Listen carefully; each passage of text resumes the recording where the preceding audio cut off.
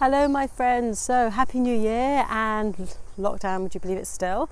Uh, day 11, but with a botanical eye. So, here we are with our Scots pine tree. So, I wanted to look at this with you. How do we know it's a Scots pine? So, it's a Scots pine. If you look at a Scots pine from a distance, you'll notice it's got a brown bark towards the bottom and then towards the top it becomes an orangey colour. So the top of the trunk is orange and the branches are an orangey colour.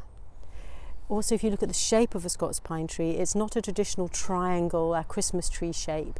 It has clusters towards the top of the leaves, towards the top of the branches, so almost like a cauliflower, broccoli type shape towards the top. If you look at the needles of the Scots pine, the needles come off in pairs.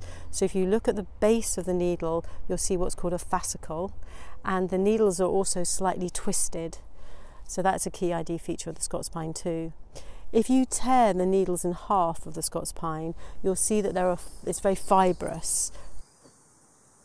So one way I say to students you can remember Scots pine is think of the ginger hairy Highlander. You've got your Scots pine. So here we have the pine cone. So as you can see, it's not hugely big, three to five centimeters. Takes about 20 months to ripen, and is a this pine seed is a really fabulous nutritional snack for many creatures. Here we have the pine cone once it's been stripped by a squirrel, so that's a nice thing to look for under your tree.